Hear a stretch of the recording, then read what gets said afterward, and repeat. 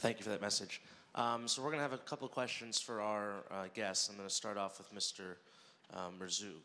Um, you mentioned um, Islam and uh, slavery. What role does Sharia play as a justification for slavery? I know that. What role does Sharia play, the particular interpretation of the Quran? I mean, if you look at um, the Bible, obviously you will find stories of slavery, the same in the Quran. People have chosen to interpret it in different ways over the years. But um, today, what role would you say that Sharia or a certain interpretation of Islam plays in, in justifying slavery in Mauritania? Thank you. Uh, I will try to, uh, to respond in English. Uh, the Sharia is always, um, it's different Sharia. If you hear about Sharia in Mauritania, it's not the same Sharia in Iran or something like that. Every area is having his own uh, way, his own um, Sharia, I would say. It is simply said.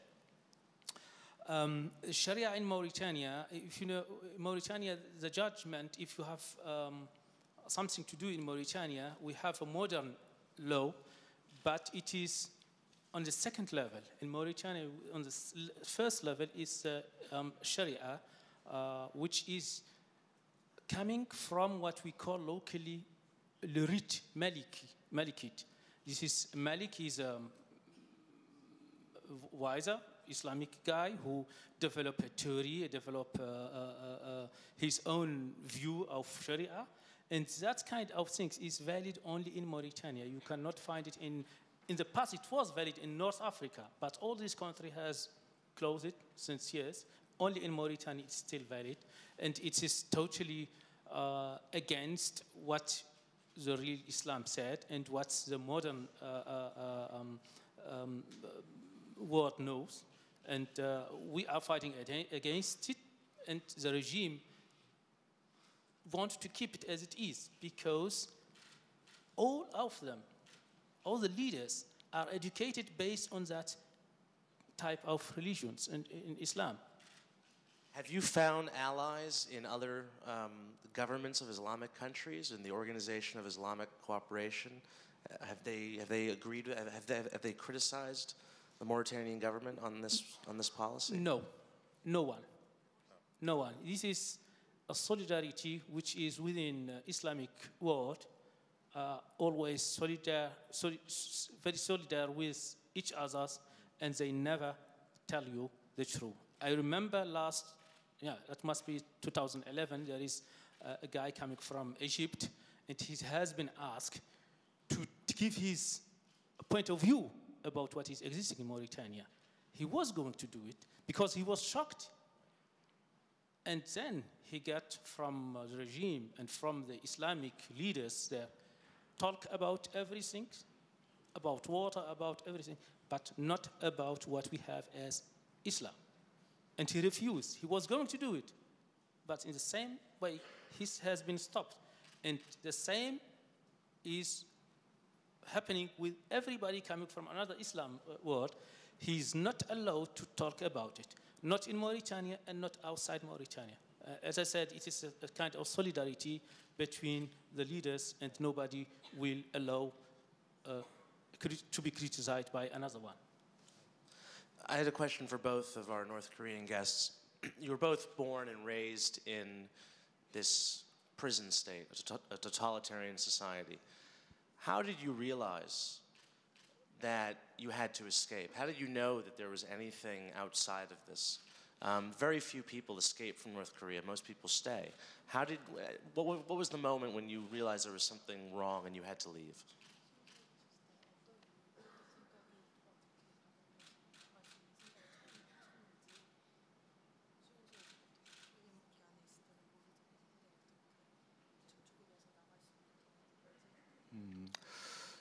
저는 이제 수용소에서 탈출한 것이 아니고 이제 석방을 했기 때문에 어, 석방을 했기 때문에 어, 이 신동영 씨하고 좀 다른 케이스가 되겠죠. 예.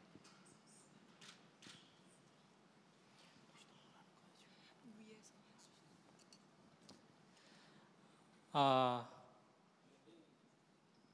사실 뭐 저 경우에는 이제 북한에서 태어났기 때문에 아, 물론 태어난 거는 이제 엄마 어머니 아버지가 아, 뭐 표창 결혼이라고 하는 그 아, 수용소 안에 시스템 때문에 아, 결혼을 해서 이제 제가 태어났고 태어나서 내가 배웠던 거는 이 수용소의 법, 수용소의 규정 그리고 수용소의 모든 시스템이었었던 거예요. 그래서 제가 알 수 있었던 건 아무것도 없었고 그냥 오직 늙고 죽을 때까지 이 안에서 살아야 되, 되고 또 우리가 목숨이 붙어 있으니까 그 목숨이 붙어 있는 죄를 그 살아 있다는 것에 대한 감사의 표시로 그 보답하기 위해서 일을 열심히 해야 되는 거 외에는 저희가 알 수 있었던 건 아무것도 없었습니다.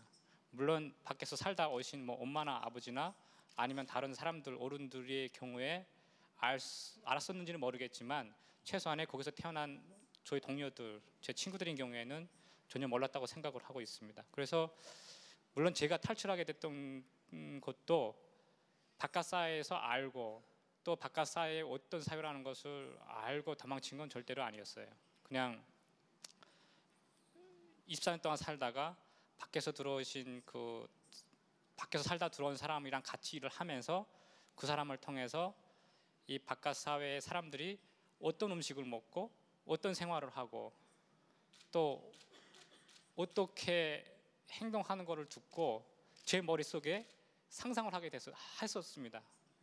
물론 그 사람이 하는 얘기를 제가 듣지 못했고 보지 못했고 겪어보지 못해서 믿지를 않았지만 머릿속에서 그 사람이 먹었던 음식에 대해서 상상을 해- 했었죠.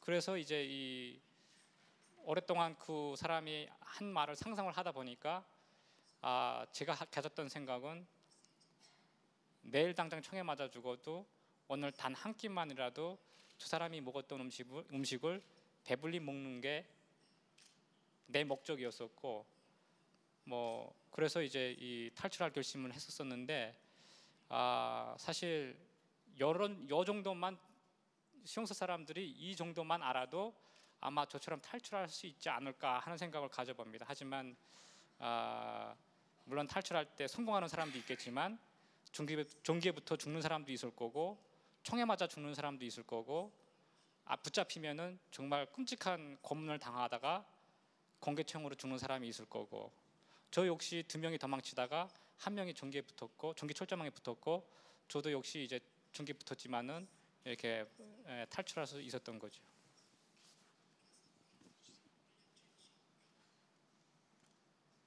Would, would, would, would he like to answer the question as well, or no? Because he was not born. Well, I mean, born in North Korea, born you know in this society. When how how, how did he? What what motivated him to leave?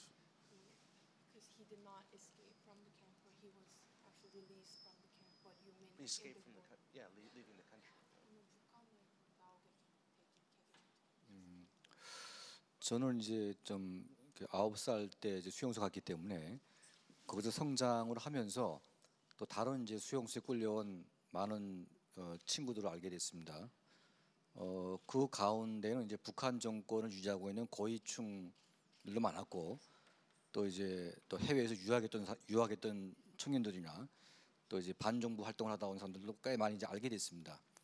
그래서 이제 제가 10년 이후에 석방되고 나서 어, 그런 친구들과 함께 어, 그 체제를 반대하는 반정부 활동을 어, 하게 됐습니다. 그 활동이라는 것은 어, 남쪽 노래나 미국의 팝송 같은 노래들을 이제 녹음해서 뭐 친구들에게 알려준다든지 또 이제 북한 정권을 이제 반대해서 여러 가지 이제 그 활동을 하다가 북한 그 정보 기관에 발각이 되면서 다시 이제 수용소에 끌려가거나 그 처형당할 그런 위기에 몰렸습니다. 그래서 어, 그 친구들이 탈, 탈출을 이제 결심을 했는데 어, 한 20명 중에 저하고 같이 온 안혁이라고 하는 친구 어, 두 사람만 이제 도망강을 넘어서 중국에 갈 수 있었고 나머지는 현재도 체포가 돼서 어, 처형됐거나 아마 수용소에 끌려간 것으로 이제 알고 있습니다. Um, I'd like to ask him another question. It seems that we often hear um, regularly that the North Korean regime is reforming and that there's an opportunity for change. And we have a new leader now, and you hear this a lot in the West. Analysts political figures say uh, we need to engage the regime because they want to change. Do either of these men see any difference in the new leadership under uh, the, the the third um, generation as in previous generations?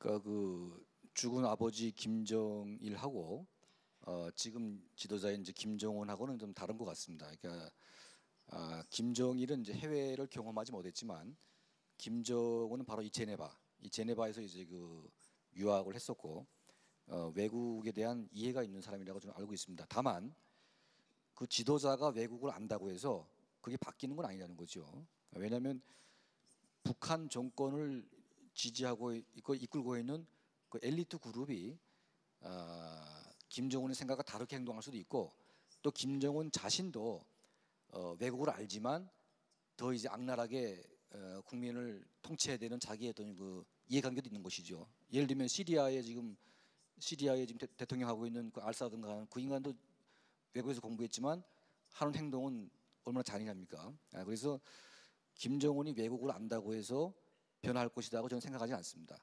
그 시스템이 그렇게 돼 있고 또 이제 변화하는 순간 김씨 일족과 그 그룹은 어, 뭐 리비아나 뭐 중동 국가나 다른 독재 국가 몰락과 비슷한 형태로 아주 심각한 그 처벌을 받기 때문에 어, 이 변화가 쉽지 않다. 어, 다만 이제 경제적인 위기 때문에 약간의 변화는 시도할 수 있지만 이 근본적인 변화는 쉽지 않을 거라고 저는 보고 있습니다.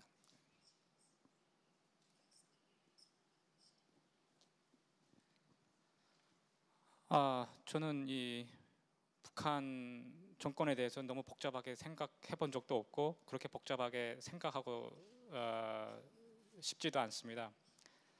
그제 눈에 보이는 이 북한 정권 또 지금 김정은 정권은 그냥 정권의 그런 리더가 아니라 그냥 하나의 그냥 사이코패스 정도로밖에 저는 그렇게 여러분들한테 말씀드릴 수가 없습니다. 아, 그냥 제가 여러분들이 아마 북한을 변화시킬 수 있는 방법이 어떤 건지 여러분들이 더 잘 알고 있다고 저는 생각을 하고 있습니다. 여러분들이 길을 가다가 강도를 만나고 여러분들이 밥- 식사를 하시다가 밥을 뺏겼을 경우에 여러분들이 그 빼앗긴 밥을 찾고 빼앗긴 돈을 찾기 위해서 여러분들이 어떻게 할지는 여러분들이 더 잘 안다고 생각을 하고 있습니다. 만약 국제사회에 유엔이 존재하고 있고 또 그 안에 여러 가지 인권 기구들이 존재하고 있다고 하게 되면은 여러분들이 개개인의 상황이나 또 국제 상황이나 마찬가지라고 생각을 합니다.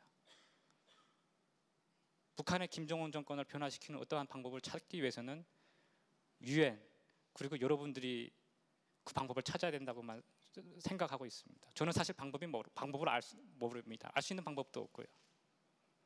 제가 그 방법을 안다게 되면 여러분들 앞에 와 있지 않았을 겁니다. 제가 바로 그 방법을 찾아서 바꿨겠죠. 저의 답은 그 해결할 수 있는 그 방법은 바로 이 자리에 앉아 있는 여러분들이 알고 있다는 겁니다. 감사합니다.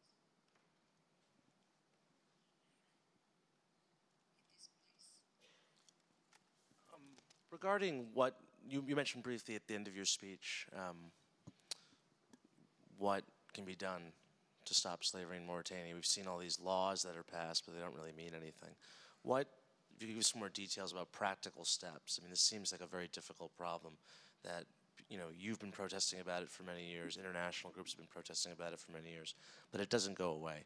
Is there something different that um, international that, that governments, that the United States, that, that the Western powers should be doing to help bring this uh, this tragedy to an end? Uh, Thank you. Uh, First of all, what can be done is if everybody from official side, from government, tell you about slavery, he will deny. First of all, don't believe him. This is the first thing you need to do. Because we know since years they are always telling something which is no, no, we don't have, we don't have. But in 2007, we know they declared officially, yes, we have slavery, and to release a new law against slavery. This is the first uh, um, sign that there is slavery still exists. Today they are coming back and telling, no, there is no slavery. Uh, this is, this, all these things tell you, every official, officials will tell you something which is wrong. Don't believe him.